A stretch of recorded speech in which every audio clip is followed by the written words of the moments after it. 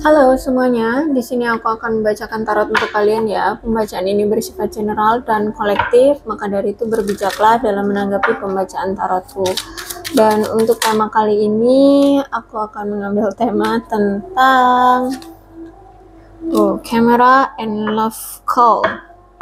Ada seseorang di sini yang ingin sekali uh, mengekspresikan cinta dia, nunjukin rasa cinta dia lewat message atau lewat apa lewat pesan atau lewat uh, telepon ya. Karena aku lihat saat ini dia tuh kepikiran kamu terus ya. Jadi pengen memberitahu kamu tentang perasaan dia sebenarnya sama kamu. Dia selalu kepikiran terus nih. Apalagi masa-masa uh, yang lalu saat bersama kamu tuh wah keingetnya tuh pol-polan ya. Aku lihat di sini dia kangen banget nih sama kamu. Oke. okay? Kita lihat siapakah dia orang yang selalu kepikiran kamu terus.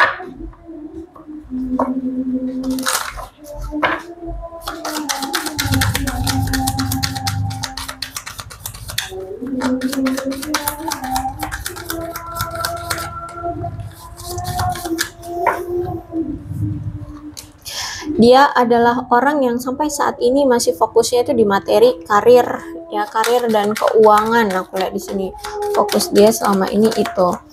Terus getting to know each other dia adalah orang yang masih sering stalkingin kamu masih ingin cari-cari tahu keadaan kamu dan kamu pun aku lihat di sini masih sering stalkingin dia ya jadi dialah orangnya yang sering kamu cari-cari tahu kabarnya. Dia juga sebenarnya cari-nyari kabar kamu. Dia juga sering stalkingin kamu. Entah lewat apa bisa juga lewat tarot ini bisa jadi ya. Atau um, sosial mediamu atau apa.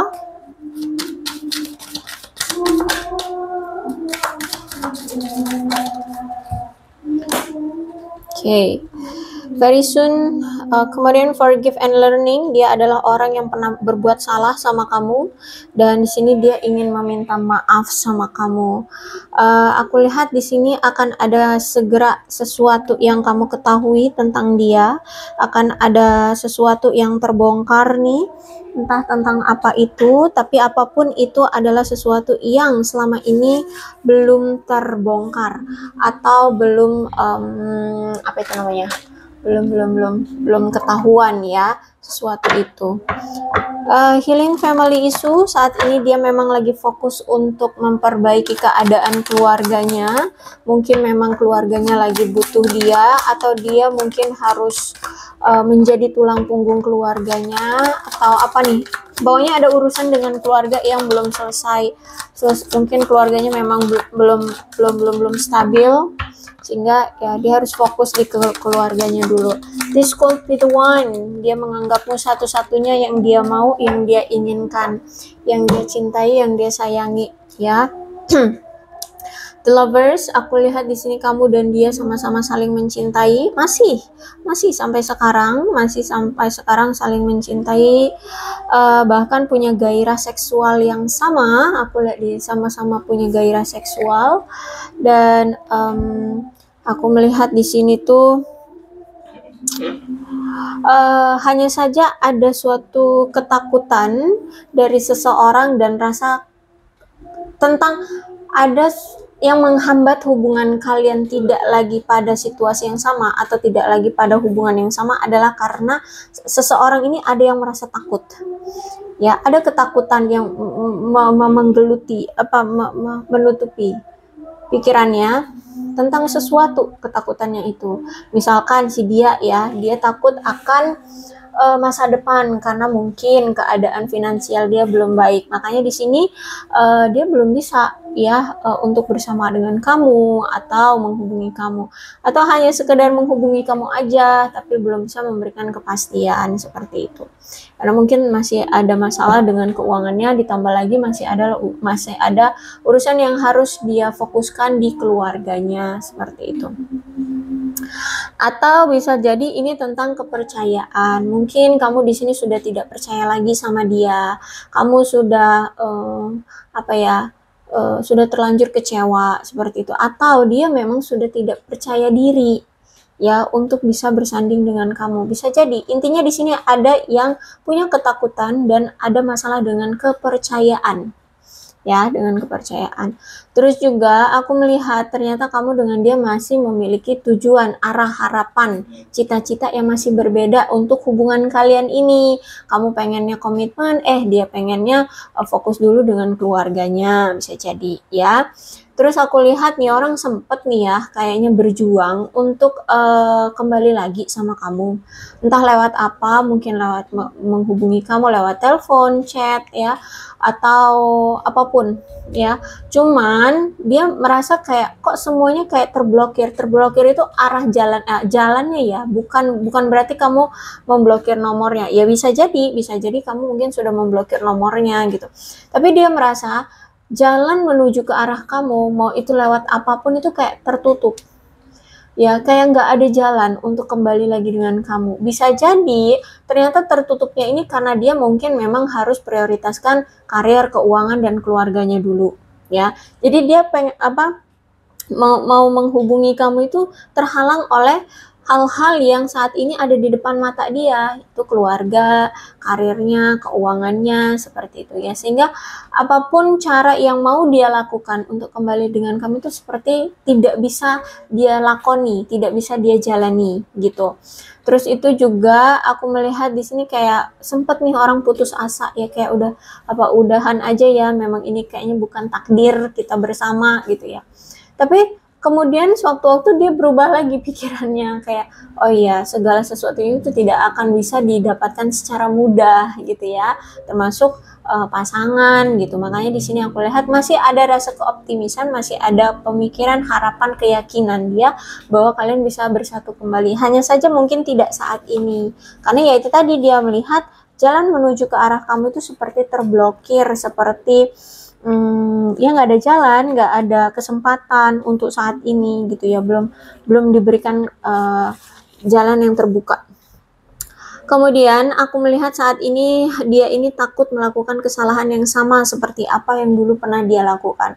Entah apa yang dulu pernah dia lakukan, uh, oh pengkhianatan nih, ya perselingkuhan, kebohongan itu yang pernah dia lakukan. Ya lah, yang pernah dia lakukan terhadap kamu ya. Nah sekarang dia itu kayak lebih memilih untuk mendekam diri tidak usah aneh-aneh nggak usah uh, banyak tingkah gitu ya. Karena di sini dia tidak mau melakukan kesalahan yang sama seperti apa yang dulu pernah dia lakukan. Dia saat ini menghindari uh, kelakuan dia yang kemarin takutnya dia akan lebih menyesali di suatu hari nanti seperti itu. Jadi makanya di sini dia diem. Nggak melakukan apa-apa. Ya hanya melakukan hal-hal yang berhubungan dengan hidup dia dan keluarga dia aja kayak gitu. Aku lihat di sini. Kalau terhadap kamu itu dia tidak mau sembrono lagi tidak mau semena-mena lagi. Dia benar-benar menjaga tindak tanduknya. Ya apa langkah pergerakannya. Dia benar-benar lagi apa sih namanya itu Me menjaga banget jangan sampai salah langkah Apalagi di sini ada strength, orang yang sangat mendominasi, orang yang semena-mena, suka-suka hati dia lah, kayak gitu ya. Aku lihat di sini. Um, terus itu juga uh, gini, sebenarnya aku melihat ada yang sedikit uh, ketergantungan nih di dalam hubungan ini, entah ini kamu atau dia yang terlalu atau yang sedikit ketergantungan, uh, sehingga menimbulkan rasa tidak aman atau menyulitkan pasangan seperti itu ya. Karena mungkin sebelah pihak pasangannya lebih mandiri lebih fokus ke hobi tapi pasangan yang lainnya justru malah kayaknya pengen ngintil terus takut banget kehilangan, takut banget akan direbut orang seperti itu ya. Jadi terlalu bergantung. Bisa jadi mungkin selama ini dia terlalu fokus dengan hobinya, dengan um, pekerjaannya, dengan kehidupannya, dengan kemandiriannya. Nah, kamu yang selama ini takut banget atau kamu yang selama ini bergantung banget sama dia, takut kehilangan, takut uh, tidak mendapatkan cinta dia, takut tidak diperhatikan oleh dia seperti itu. Sehingga ya hubungan kalian tidak tidak apa ya merasa kayak menyulitkan aja kayak gitu. Terus itu juga aku melihat um, apa ya kayak hubungan kalian ini tuh kurang kurang kepercayaannya ya. Yaitu mungkin kamu takut banget dia di luar sana uh, ternyata ada yang lain kamu curiga gitu ya. Kamu kayak nggak percaya kalau dia itu setia atau apa bla bla bla. Ya entah faktanya setia atau enggak tapi kayaknya enggak. Ya karena di sini ada nine of sword oke okay. um, intinya ada kecu kecurigaan seperti itu ya ada rasa ketidakpercayaan yang kuat di sini. Terus itu juga um, apa ya? Mungkin dia ini terlalu pengontrol ya dalam segala aspek. Bahkan um, dia itu lebih banyak mengontrolnya daripada simpati dan perhatiannya ke kamu itu kurang banget. Terus itu juga um, apa ya? Aku melihat kayak banyak sekali kebutuhan atau keinginan kamu selama ini diabaikan oleh dia. Tapi giliran dia mau apa, keinginannya apa, harus kamu penuhi ya. Kamu bahkan wah udah kayak apa ya, perinya dia gitu. Semua diberi, semua dikasih kayak gitu. Tapi giliran kamu pengen sesuatu dari dia, nggak ada tuh yang dia kasih ke kamu. Kalau di sini ya. Terus itu juga, oh, oke. Okay Eight of Wands. Eight of Wands itu berarti kamu dengan dia ini sebenarnya sudah berpisah ya. Kalian sudah lama nih berpisah, entah udah berapa bulan. Aku lihat di sini kalian sudah tidak ada komunikasi, tidak ada pertemuan, ya sudah berpisah. Um, tapi akhir-akhir ini atau seiring berjalannya waktu setelah kalian berpisah, perasaan dia kok semakin kuat, semakin uh, timbul rasa rindu, semakin ingin bertemu semakin ya semakin berkembang semakin besar rasa cinta dia ke kamu. Sehingga aku lihat di sini ras, ada rasa tidak sabar untuk datang lagi ke kamu. Cuman energinya cepat ini ya aku lihat. Jadi kalau misalkan kamu tidak segera menyambutnya atau kamu tidak responsif terhadap dia maka dia akan pergi lagi ya energinya cepat datang dan cepat pergi. Ya kalau aku lihat di sini sih dia ingin menawarkan perasaan dia lagi. Nah itu dia. Makanya di sini kemungkinan dia akan menghubungi kamu entah ini lewat message. Message itu pesan atau uh, menghubungimu kayak gitu. Ya aku lihat di sini energinya cepat. Jadi kalau misalkan kamu tidak merespon dia dia tiba-tiba akan ngilang lagi kayak gitu. Ya. Oke. okay. Oh, Ten of Pentacles ya. Ten of Pentacles ini sebenarnya gini dia itu memang punya keinginan, punya harapan, punya prinsip, ingin memiliki uh, rumah tangga, keluarga yang stabil, yang makmur secara materi. Ya, makanya di sini dia itu berjuang keras banget, kerja keras banget untuk menghasilkan uang yang banyak, yang stabil. Karena ini prinsip dia adalah dia ingin memiliki keluarga yang makmur, bahagia, tentram, sentosa, ya. Jujur aku lihat di sini dia memang memanifestasikan diri dia untuk bisa berkeluarga dengan kamu, penuh dengan perhatian, tulus, bahagia, damai, sentosa ya, saling uh, uh, saling menghargai, saling menjaga seperti itu. Aku lihat di sini ya um, mungkin memang ada kesenjangan kali ya dari kamu dan dia. Mungkin dia lihat kamu mungkin uh, orang yang stabil, pekerja keras juga secara materi ya, secara materi stabil, pekerja, pekerja keras sehingga dia merasa ya tertarik sama kamu karena kamu wah pejuang banget gitu ya dan uh, mungkin secara finansial kamu lebih baik dari dia dan keuangan dia mungkin lagi drop seperti itu ya jadi dia pun ingin uh, aku lihat di sini ingin ingin ingin stabil juga.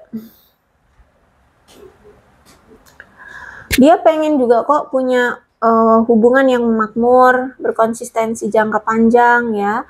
Terus punya hubungan yang punya dasarnya kuat, saling uh, apa damai, penuh dengan kegembiraan ya. Terus itu hmm, ya indikasi emang ada keinginan dari dia untuk menikah tapi ya itu, dia ingin siapa pun nanti yang akan menikah dengan dia, pernikahan kalian itu bisa uh, langgeng gitu loh. Penuh dengan kemakmuran, terutama secara materi. Secara materi itu bukan menjadi masalah gitu loh. Dia pengen punya ber, punya keluarga yang secara materi itu tidak bermasalah gitu loh ya ya mungkin uh, dia punya pengalaman dari masa lalunya mungkin keluarganya uh, bukan keluarga yang um, kaya raya tapi aku lihat di sini dia ini loh ahli waris loh dia ini punya warisan juga. Dia ini dapat warisan aku lihat. Cuma nampaknya memang ada masalah dengan harta warisan.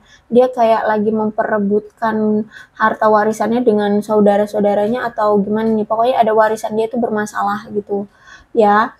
Hmm, jadi dia lagi mengurus masalah tentang warisan. Um, aduh kemudian uh, ya aku lihat mungkin dia berasal dari keluarga yang mampu ya.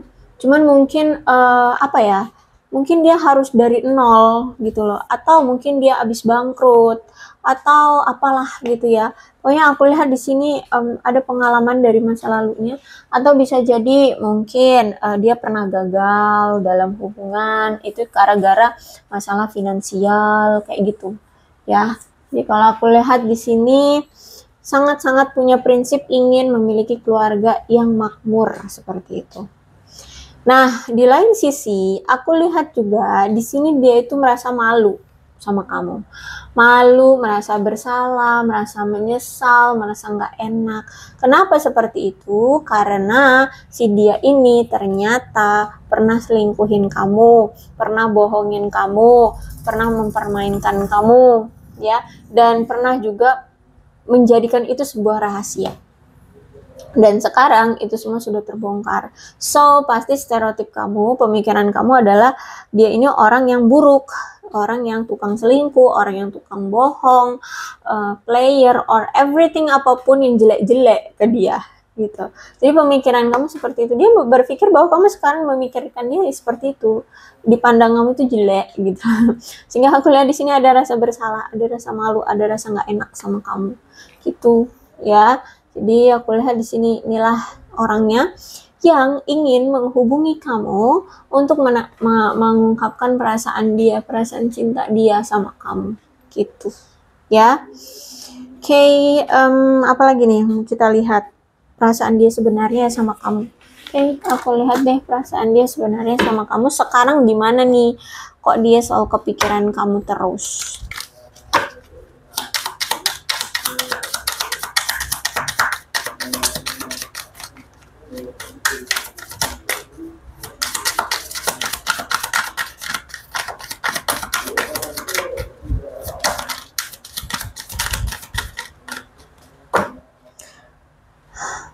Oke. Okay.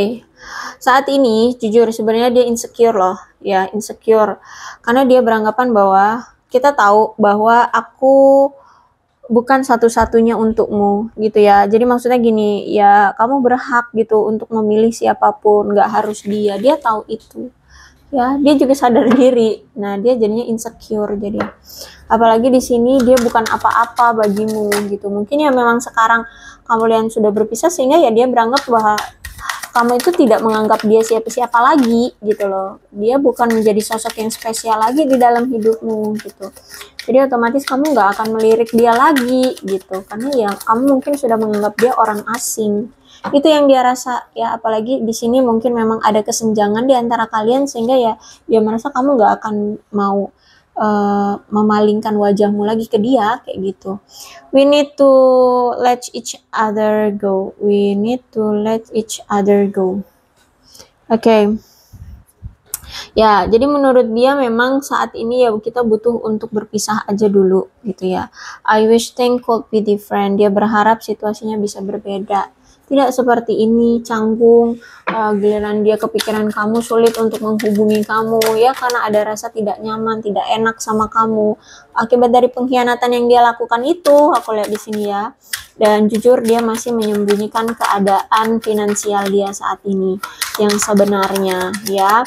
Mungkin kamu melihat bahwa dia kelihatannya kayak baik-baik saja secara finansial. Mungkin kamu melihatnya kayak ini orang finansialnya bagus-bagus aja kok. Diajak ke sana sini sana sini gitu ya. No tidak. Sebenarnya dia itu masih menyembunyikan keadaan uh, finansial dia dari kamu. Sometimes I stay awake thinking about you.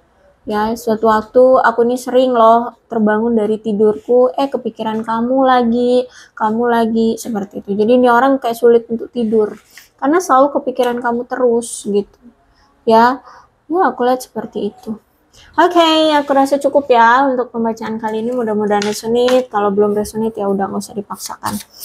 Dan untuk zodiaknya di sini ada Aquarius, Libra, dan Gemini, Leo, Aries, Sagittarius, Capricorn, Taurus, dan Virgo, Cancer, Scorpio, dan Pisces. Kedua belas zodiak ada semua dalam pembacaan ini. Energi paling kuat di sini ada Gemini dan ada Leo. Tidak, oke. Okay, um, aku rasa cukup ya. Kemudian ini ada bulan-bulan yang berhubungan dengan kamu dan dia. Silahkan disituasikan saja. Ada apa nih? Januari, Maret, Juni, Oktober, April, Mei, Februari, Juli, Desember, dan September. Kemudian ada shio-nya. Shio-shio ini berhubungan dengan kamu dan dia. Silahkan disituasikan saja. Ada shio kambing, shio anjing, shio babi, shio tikus, shio monyet, shio ular, dan shio kelinci. Uh, shio kerbau, shio ayam, dan shio naga. Angka-angka ini juga ada hubungannya dengan kamu dan dia. Silahkan disituasikan saja. 19, 24, 30, eh 3 ya. Uh, 18, 27, 7, 3, 1, 8, 10, 17, 22, 1, 12, 16, 15, 30, 28, 9, 2, 14, 29, 20, 21, 25, 11, 13, dan 23. Alfabetnya apa pun yang berhubungan dengan kamu dan dia silahkan disituasikan saja. A K T E D L J R F C V M N W B X Y H U S Oke, aku rasa cukup. Berbijaklah dalam menanggapi pembacaan tarotku. Aku akhiri ya. Salam sehat untuk kalian semua dan bye-bye.